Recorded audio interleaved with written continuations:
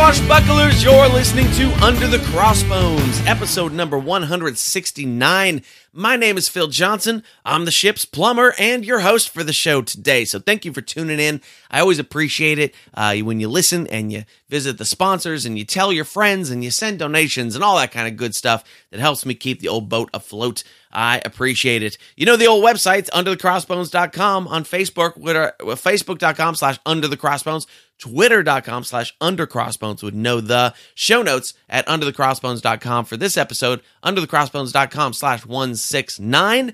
And do be sure that you are subscribed in your favorite podcast app, whatever that may be, because we're on all of them. All of them now. Spotify, uh, Google Podcasts, Apple Podcasts, Stitcher, Slacker, uh, Podcast Addict, Overcast, whatever you want to, just click the subscribe button. And You'll get those new episodes every Tuesday when they come out. Uh, episode 169, fun fact about the number 169. Uh, in the game of Texas Hold'em poker, there are 169 non equivalent starting hands, which I don't exactly know what that means. but I think what that means is that there's 169 different starting hands. Uh, when you go onto Wikipedia and they use a phrase like uh, non equivalent starting hands, I go Google that uh, to find out what that actually means in terms of what poker is, uh, and nothing came up. So I have to assume it's just some Yahoo using big words on Wikipedia because they know what they are. Uh, and I know what non equivalent means. I just don't know what it means in the context of poker. So I assume it means there's 169 different starting hands in the game of Texas Hold'em. Uh, so, you know, how hard could the game be? It's hard, by the way. I've, I've lost at Texas Hold'em uh, many, many a time. Uh, I, I, play poker once a year or so, and uh, I lose uh, once a year. That's how it works. So we have a great guest on the show today, Jasper Rouwhorst of Craft Game Studio. Uh, they are a video game uh, production company, a video game studio out of the Netherlands. So we're going all the way across the world. Uh, we got, in fact, there's a bunch of international episodes coming up, just so you know. But we're going all the way to the Netherlands today to visit with Jasper about his game called Crooked Waters. And this is a not just a pirate video game, but a VR, a virtual reality pirate video game. Uh, as far as I know, the first one. Uh, I don't. I, I, haven't run across anybody else doing VR stuff with pirates yet. So this is uh, very cool, and we're going to talk about the uh, the the the design challenges of VR uh, which includes everything from making sure people don't walk out of frame uh, to uh, making sure they don't get motion sick, uh, that kind of stuff. And we're going to talk about how he got into uh, video game design and how they work with such a small company. And so it's, it's a good, fun talk. Uh, there's a little bit of, of audio stuff because we're talking from halfway across the world, and somehow that is still uh, an issue, even when we're everything is digital. But that's a thing. Uh, so anyway, it's a great talk. You're gonna have uh, fun with that one. If you are down in the southeast of the United States right now, uh, you have plenty of time to listen to podcasts because you're staying indoors uh, with your little freak snowstorm happening down there. So I hope you're all staying safe with that happening. What they call it, Diego? Diego doesn't sound like a snowstorm. Diego sounds like a tropical storm. I mean, let's be honest. Uh, I don't know any Diegos that are like all uh, snowy and cold people. Not at all. Uh, I know some Diegos who are tropical. So it's the wrong name for your storm. Uh, it should be uh, uh, try, sn- snowstorm Gunther. Gunther sounds more like a like a snowstorm name. I think. So I think they went wrong on that one. But I hope you're staying safe. stay in your house. listen to podcasts. It'll be all good. So I this I had a rare Saturday night off this past weekend. I did gigs on Friday and on Sunday, what I'll tell you about in a second, but I had a rare Saturday night. Rare in general, super rare in December. Outside of holidays or whatever, uh, because Saturdays, uh, I mean, December is like corporate gigs, charity gigs, that kind of stuff, uh, come up a lot, which is what I was doing the rest of the weekend. But I, Saturday night was open and it was, it was, uh, it was wonderful. I spent the whole day with my girlfriend. Uh, we decided to make a cheese fondue for dinner. Uh, now that seems like a weird 1977 kind of thing to choose to do for dinner, uh, but it was because when we were in Portland. Uh, the weekend be- before, we had dinner at a uh, Swiss restaurant, and they had a cheese fondue appetizer on the menu, and it was twenty four dollars uh, for basically a bowl of melted cheese and some bread. And I was like, I don't want to pay 24 bucks for fondue with just this because we've had better fondue at other places that come with more stuff for not that much more money. So uh, I said, look, when we get home, we will we'll make fondue.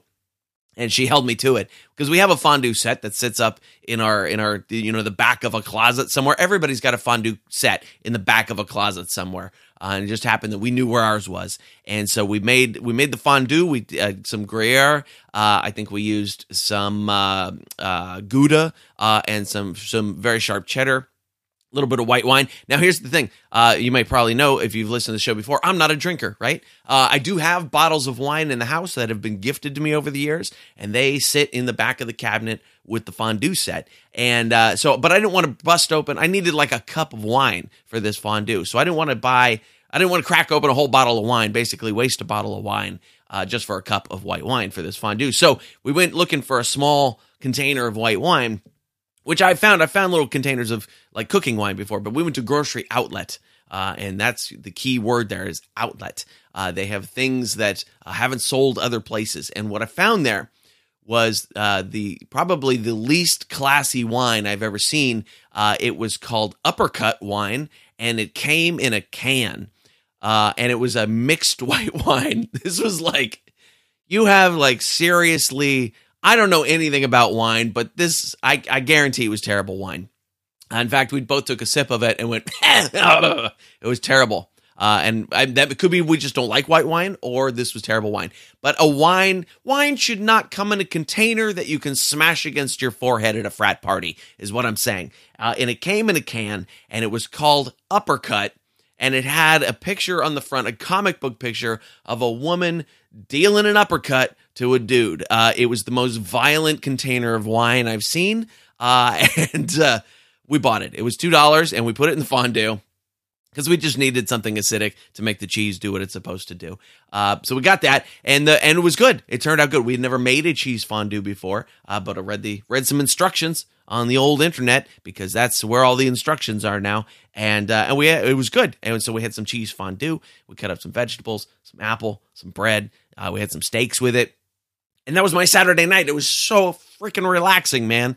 Uh, it's it just doesn't happen that I get a Saturday night off with my girl like that, where we can just cook something. So that was nice. So the rest of the weekend, like I said, is uh, uh corporate charity gigs, that kind of thing. So Friday night, I was playing a corporate gig for a group that owns a movie theater, or a chain of movie theaters uh, up in like Santa Rosa, Healdsburg, northern northern North Bay area up there. Uh, and so I was playing in a movie theater, which fortunately they had a little stage and they had some lights. But corporate gigs are always interesting because when you do a joke, uh, everybody kind of glances at the boss to see if they're allowed to laugh at it. Uh, and so we have to work really clean, and I did work really clean because the guy that booked me said, "Hey, look, go to town. We all know what's up. It's a comedy show. You can do your R-rated show." And I did a couple. I have some tester jokes at the beginning of my set uh, that I can use to see, sort of suss out the audience and see where we can go. So I did my couple of tester jokes, and immediately I was like, "We are not doing the rated R show tonight. That will not go well." Uh, so it was fun. Uh, corporate audiences are always a little little mellow, uh, and uh, there was one drunk dude who was trying to helpfully heckle. Helpfully heckling is when they they think they're adding to the show and they're just not. And i just i just kept shutting him down with like stock heckler lines and things like that. But uh, he, he was like i have a song called i want to rock. And he just kept going yeah i want to rock. He was just very agreeable. And uh, yeah so it was interesting. Uh, but they sent me home with a, a box of uh, macarons and tiny cupcakes uh, that were fantastic from apparently from a place called mustache in healdsburg that I don't know anything about, but if you're in Healdsburg and you want some good tiny, tiny ass little cupcakes and some macarons, go to Mustache. Uh, I'll find it next time I'm up there too. So then last Sunday, Sunday I was uh, uh see uh, a lot of these gigs are places where you would not normally find comedy, and last night Sunday was a uh, a prime example of that. Uh, as I was playing at a PF Chang's uh, in the middle of a mall in Walnut Creek, California. Not a place conducive to comedy at all. But they kind of roped us off into this little area. It was we were raising money for Toys for Tots, uh, and it was me and Larry Bubbles Brown and Gene Yee and uh, Patrick McDermott and uh, and uh, and uh, somebody else was there. Uh, oh, Bob Johnson was there, and so it was a fun show we raised money. We got toys. There was a raffle that raised a good chunk of money. There was a nice little audience there, and that was fun. But the, what you get at the charity gigs is you get people who don't often go to comedy shows or sometimes have never been to a stand-up show uh, and and they just kind of look at you like oh, we're not quite sure what's happening and when somebody like if you have not seen larry bubbles brown uh, go look him up on the internet he's he's been on uh, he was on the letterman show twice uh, great guy uh, very disturbing on stage. And I was just watching people look at him like, oh my gosh, somebody get this man help, uh, rather than laughing at some of his jokes. So you get those kind of audiences, and it's always an adventure to, to make it work. But I, I closed out the show, I headlined and uh, they did good. I kept it clean, kept it punchy, worked it in. I did some Chinese food jokes because uh, we were in a PF Chang's, and I I didn't see. I said I don't I uh, I don't think this is very authentic. I have not seen any chicken heads uh, nor a fish that come looking uh, like a fish when they arrive at the table. Um, if you've ever been to a real Chinese restaurant, you know what I'm talking about. That's how it works. But so anyway, that was the weekend. There now, I'm I'm back on the road this week, and I've uh, got a big tour northwest USA happening in Oregon, Washington, and of course, my car. Uh, the maintenance light went on yesterday. Uh, the battery, my key fob died yesterday. So like, I got to run around today and get all that garbage fixed before I can take it on the road. But here's what's coming up uh, on Wednesday the 12th. That's this Wednesday. I'll be at the Mill Casino in North Bend, Oregon. Uh, two shows that night. On Thursday the 13th, I'll be at the Mount Shasta Vets Club in Mount Shasta, California. December uh, 14, 15, that's Friday and Saturday, I'll be at Chadwick's in Medford, Oregon. On the 16th, I'll be at the Slide Inn in Portland. On the 18th, Collector's Choice, Snohomish, Washington. It's hard to say. On the 19th, I'll be at Seven Cedars Casino in Squim, Washington, which isn't pronounced, it's pronounced Squim, but it's spelled Sequim.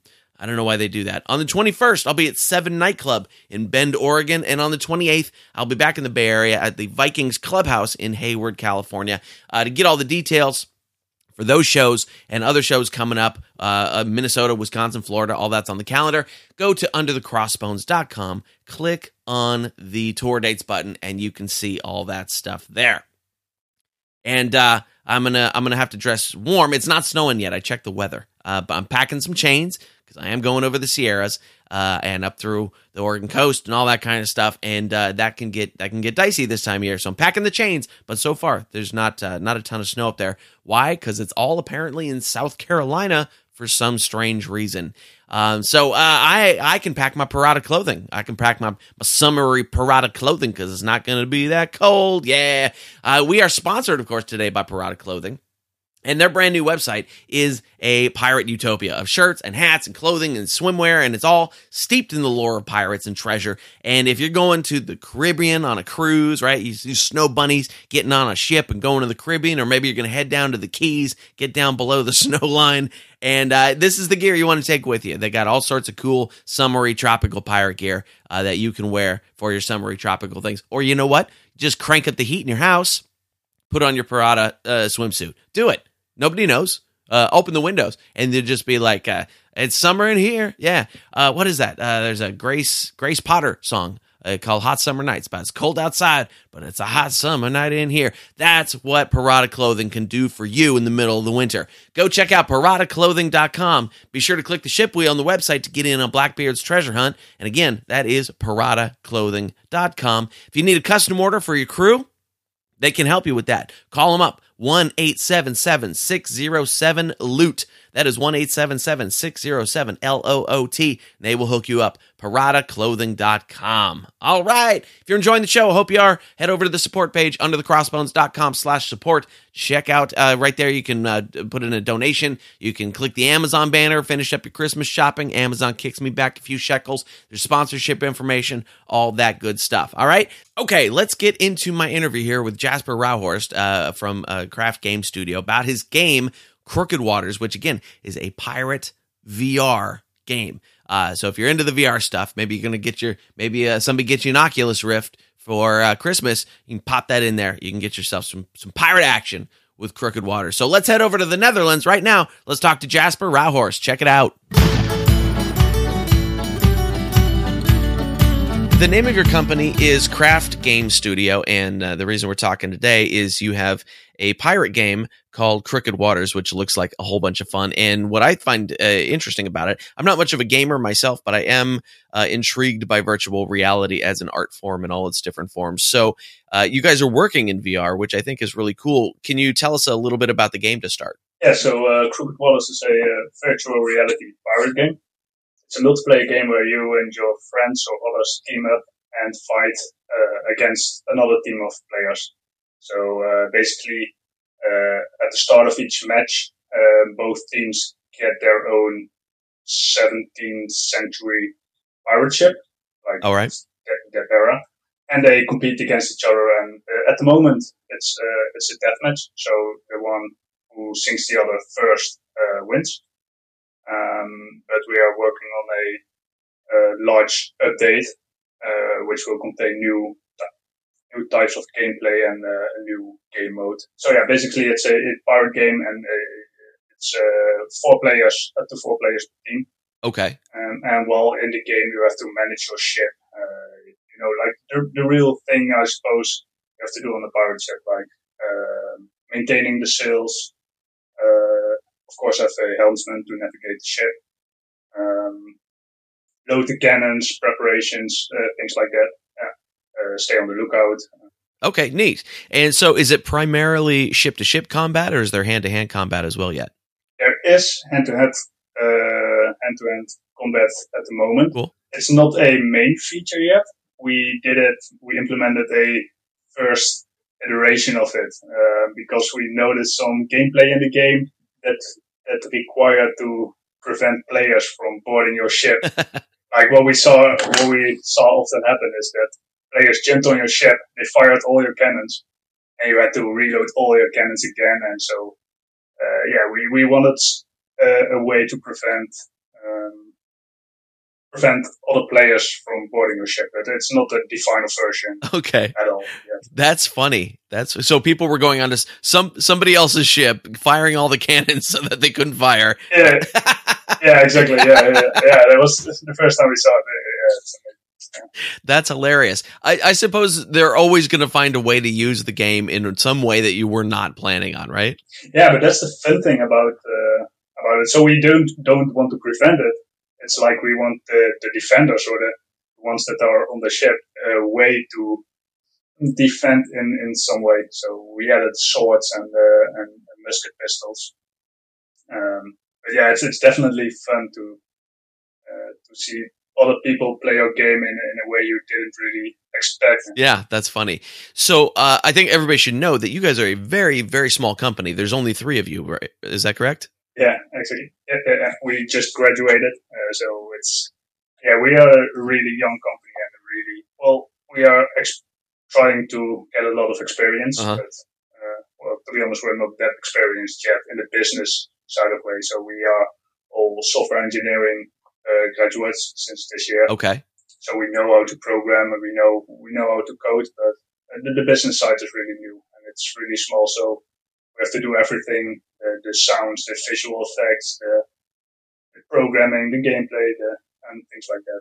The business, the marketing. Yeah. Yeah. Well, I suppose you always have to learn the art before you learn the commerce part of it, or at least that's been my uh, my experience with those types of things. So you got your computer engineering degree and you come out of that and now you're faced with now we need music and graphics and all this other stuff yeah. that you probably didn't study as much about how are you dealing with that learning curve um, I think a benefit of being a software engineer is that that's part of the, the business. That's part of the the yeah, the job. Uh-huh.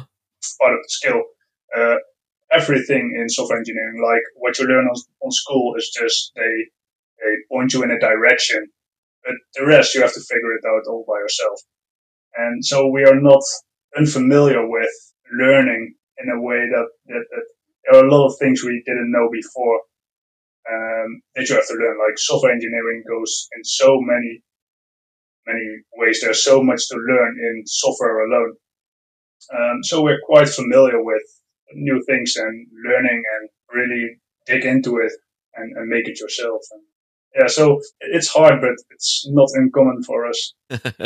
it's it's just a matter yeah. of yeah, okay, let's figure it out, whatever it is. Yeah, it's, it's exactly that. It's not we we we don't get scared by things we don't know it's, yeah, it's part of the business. Sure. Now, it, this is an amazing amount of work for just three people to take on. Uh, especially when you look at the credits for the average video game, there's a list as long as you know a movie credit uh, list. And so how do you how do you manage with just three of you to create an entire game without losing the rest of your lives? um, well, the main part is that we all have passion in gaming and game development. Uh-huh. Um, so personally, I don't really see it as work. Uh, it I, it does influence my personal life. I think in a way that you know sometimes you have to the, the option to develop your game or to maybe hang out, well, hang out with friends or, you know, uh, go to a movie or something. Um, and they are, for me, both equally fun. So yeah, it's, it's, I put a lot, we put a lot of hours in, uh, in the development of the game. Yeah. Okay. Yeah, it's just a workaholic. I get it. yeah, yeah, but it's not that my, my personal life is really influenced by it, but yeah, that, Mm, yeah, a lot of hours that we put in. in I, yeah, I can I completely understand that. My my girlfriend is always like, "Hey, let's go on vacation." I'm like, uh, "I got work to do." yeah, exactly. Yeah, yeah. I have things to be done, so I get that. Uh, and so, did did the three of you all go to school together? Yeah, we met in, uh, in school as well. Oh, okay. So uh, you were you probably I imagine there were tons of uh, of uh, test projects and all things like that that you did together. So you've got some experience working together before you entered in this project. And actually, this isn't even your first game. You had the you have another game called Indigenous, right? Yeah. Well, Indigenous. Uh, it's it was our first project. Uh, we didn't really uh, complete it, or we didn't really try to release it. It was our first project in in game development. Uh-huh. So it, it, we see it as a prototype. Okay it's not we did, we didn't release it on Steam. We uh, put a free de- demo online on uh, on Itch, so uh, it's it's free for everyone to download and to try it out. But it was our first experience with game development in general because our our uh, study was more focused about yeah software engineering okay. and not game development. I see. Okay. All right. So, so uh, i imagine you probably grew up as a gamer and have a long history of playing games that you would want to get into uh, game design in the first place yeah? Um well i don't i've played a, quite a few games uh-huh. quite a lot of games but i don't really consider myself as a real gamer especially in my younger years. Okay. Um, I'm currently I'm sitting more behind my computer than I did when I was younger. Okay. so uh, I've played quite a few games, but I didn't really 24 7 game and, and things like StarCraft or World of Warcraft. I've, I've played it, but not hardcore. Okay. So, what so, was the draw to game development for you? Well, I do love games, just not play it 24 7. And I later realized I've always wanted to, uh, I would always imagined it would be really fun to develop games. But the reason I didn't chose for a game development study is mainly because I thought, well, I don't want to be one small part of a game development team. Uh-huh. I want to create the whole game. I don't want to create just the small feature within a huge studio. I see. So yeah, I, I, I, I really wanted to create games, but I never imagined it would be, I, I should like create my own company and, yeah, and develop games myself. But, but here you are. Yeah, exactly. This, yeah. It's, later I thought, uh, this is really what I want it's it's sort of the the Hollywood adage of, oh, but I really want to direct. yeah. so the uh, uh, let's talk about VR here for a second. Uh, that is a a very new art form all the way around, or at least one that's only now starting to come into a little bit of prominence. And you guys are which uh, which formats are you guys uh, programming your game for? Uh, currently for the HTC Vive and the Oculus Rift. Oh, okay, great. So those those are pretty much the main two. I don't think anybody's using that Google Dream whatever thing they've got. Google. Yeah, yeah. Oh, PlayStation VR is a big one as well. Oh, I see. Okay.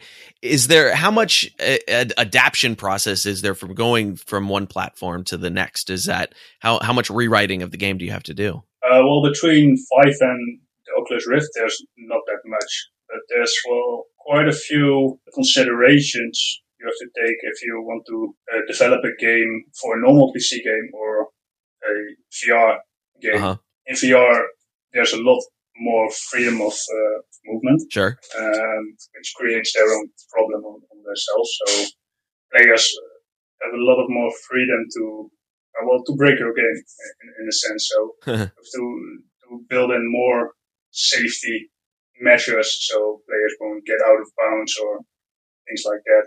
As well, there are some considerations in, well, for example, our game. The main part of our game, you play on a large ship, um, mainly on open sea. So you expect there will be high waves, etc. Uh-huh. Well, it isn't really recommendable to uh, let your ship bounce on the waves while you are in virtual reality. Okay. You will get really seasick right. in a, in a sense. So those are things you have to really think about. Like mm, VR has its things you you you wouldn't do in VR, which you easily could do in a normal PC game. Right. So technically, it's not that difficult, but it's more like gameplay wise and what you have to consider. Right. Yeah. And uh, I can absolutely see something like seasickness being a problem with that uh, because yeah. a, a, lot of the a lot of the VR stuff that I've looked at already are, makes me ill because I get motion sick. Do you see VR stuff right now going in the direction of realism and things that uh, could possibly make you nauseous at roller coaster rides and what all? Or are the companies kind of playing that part down a little bit now so that it becomes a, an enjoyable experience first and then they can push those boundaries later? Well in the very early beginning of vr uh, there were a lot of tech demos and there were some roller coasters in there. Uh-huh. but i think at this point people or, or studios are indeed trying to bring it down a bit and experiment with other possibilities besides the, uh, the, the just the visual uh, amazingness of virtual reality. Because yeah, uh, a roller coaster is great in virtual re- in virtual reality visually uh-huh. for your body and for your sickness. It's it's not that great. so in the beginning there were a lot of demos like that or flight simulators, things like that. Uh-huh. But then then it became a more serious market. I, I think. So businesses have to think more about is this really beneficial for for gaming in VR, and it, it's definitely not. Uh-huh. So they brought it back a bit, and maybe in the future, with uh, when we when we fix the, the issues which cause motion sickness, uh, they will bring it back again. Right, and uh, is that is that mostly caused by just the very slight amount of latency between the movement and the action on the screen? It shouldn't be. Okay. Uh, like the, the, the hardware is pretty good. Uh, when uh, I I know when I first tried the uh, HTC Vive, I was amazed by the, the frame rate and the, the, the precision of your your movement tracking. Uh, the main problem which causes motion sickness is um, a, a conflict between your sensors uh, like your between your eyes and your I don't know how to call it the the, the balance sensor in your ear. Uh-huh. You know, which the problem uh, the same as uh, sickness when you're driving a car and reading. In VR, your eyes detect movement, but your body doesn't feel any G forces. Oh, I see. So it's it's ex- experiencing a conflict. Oh, that and makes that's sense. what causes uh, causes motion sickness. Oh, I see. And well, yeah, that's that's the main problem. So yeah. So we need uh, haptic feedback bodysuits to cure that, then, right? yeah, something like that. Exactly. Uh, yeah, you need in, in some kind of way experience G forces on your body to match the sensory input from your eyes. Ah, interesting. Yeah. That makes sense. That's the main. That's the, the main problem in, in VR is motion sickness. Okay. All right. Interesting. So the uh, the visual look of your game, I really like. Who who came up with the, the visuals? Um, the general atmosphere sphere is something we all agreed on. We didn't want a really gruesome pirate game where with a lot of blood and, and darkness and and scurvy on your ship and things like that. You know, it's it's it's. Mm, I, I listened to the talk you had with the Sea of Thieves uh, guys, and I think we share a vision in that way that we want the more like find fantasy Disney visualization of, of pirates. Uh-huh. Like you're with your band of brothers on your ship. Your ship is your mobile base. It's something you have to maintain. It's it's yeah, it's keeping you floating on the water. But the outsiders are outsiders to you. So if you're not in in my team, you're my enemy. Uh-huh. That's that's a bit the the thing, and and the the visuals. We want the visuals to show you that that kind of feeling. So it's it's not really gruesome and hostile. But if you're not on my team, you are my enemy. I will let you sing.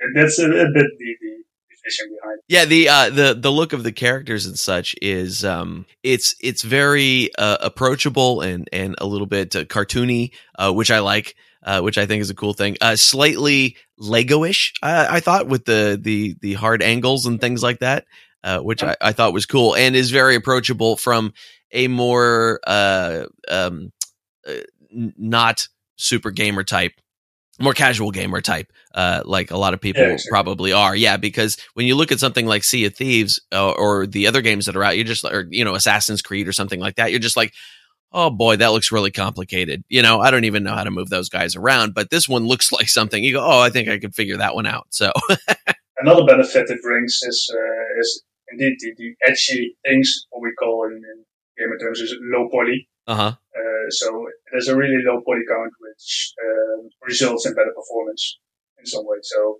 it's it's less less hard for your graphics card to render all those objects because uh, these are pretty simple shapes to render. uh huh. So uh, it it's look it looks better for your eyes and it's easier for your PC to, uh, to render. Well, that's cool. Where is the best place online for people to get the game?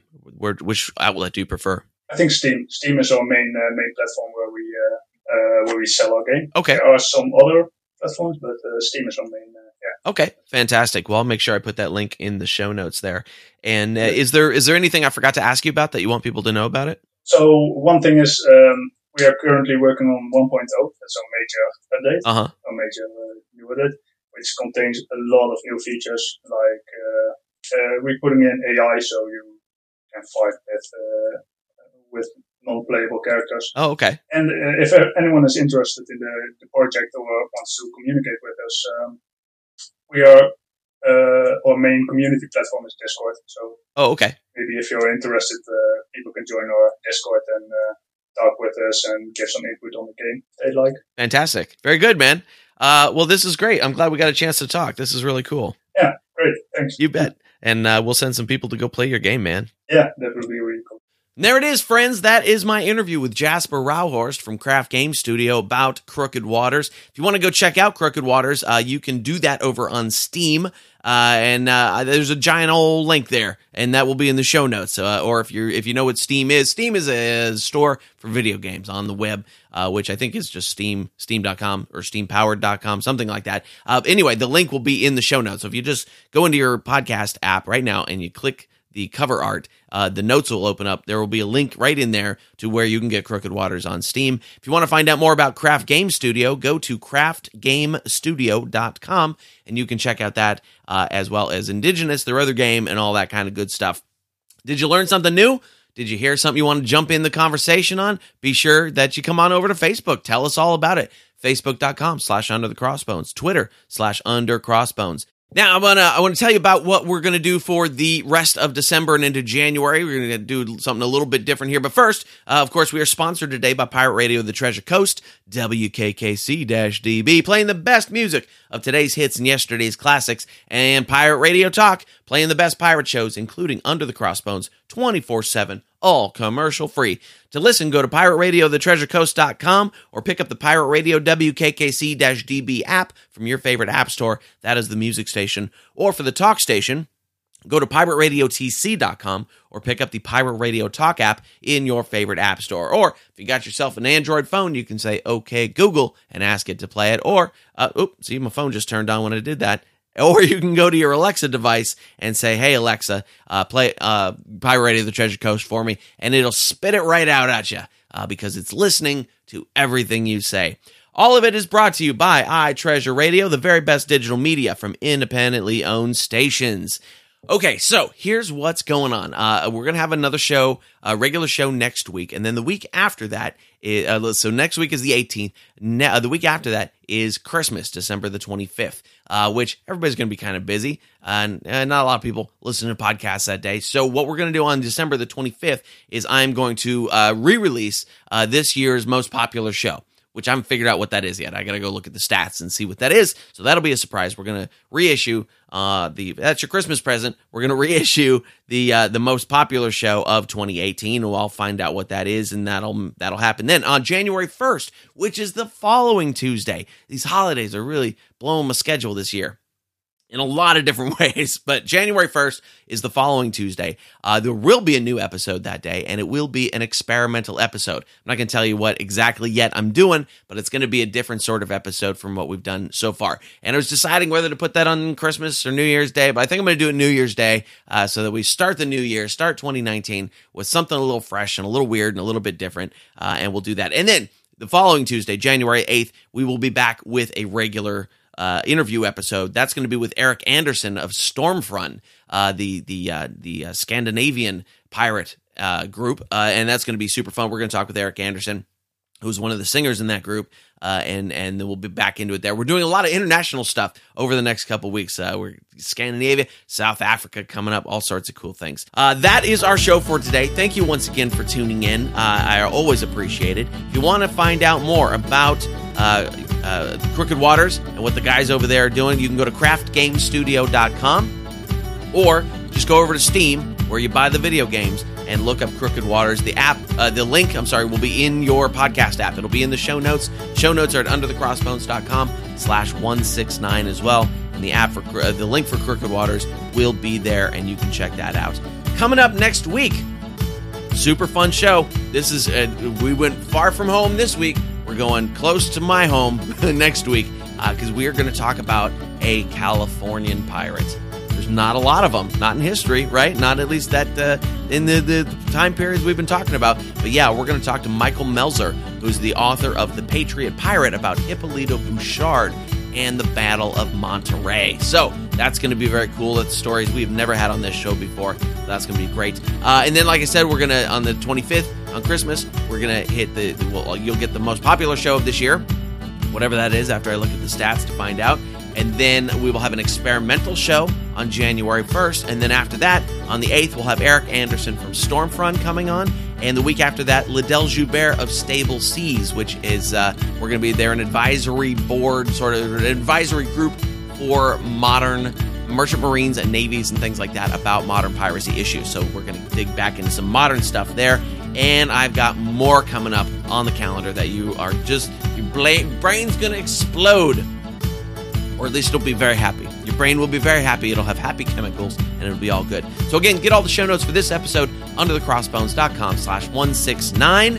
Thank you for tuning in, and I'll see you next week.